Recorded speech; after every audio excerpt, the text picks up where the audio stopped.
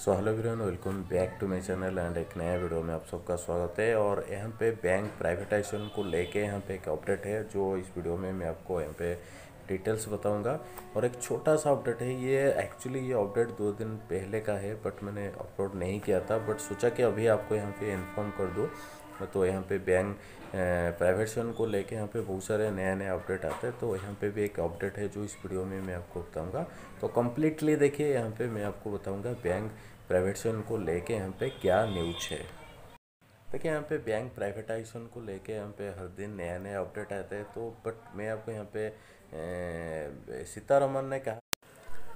तो यहाँ पे फाइनल हुआ कि दो बैंक यहाँ पे फाइनलाइज्ड हुआ है प्राइवेटाइजेशन होने के लिए।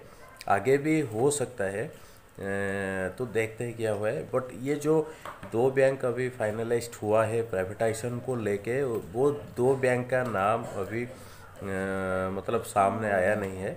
जब दो बैंक फाइनलाइज्ड हो जाएगा तो मैं आपको यहाँ पे बता दूँगा एक वीडियो करके के वो दो बैंक का नाम क्या है। और आप जानते हो कि जो आईटी बैंक है, उसको भी मतलब एल से ले चुका है और यहाँ पे बहुत सारे ऐसे चांसेस भी और है आई डी बैंक को लेके। तो यहाँ पे दो बैंक अभी सीक्रेट का ना जो नाम है, वो सीक्रेट रखा है। आगे जाके वो जब कंफर्म हो जाएगा, दो बैंक का नाम जब सामने आ जाएगा तो मैं आपको यहाँ पे कंफर्म कर दूँ। एक छोटा सा अपडेट है आई होप ये वीडियो अगर आपको अच्छा लगे तो लाइक कर देना और चैनल को सब्सक्राइब कर देना, क्योंकि इस टाइप का कि आगे भी बहुत सारे हेल्पफुल वीडियो मैं आपके लिए लाता रहूँगा।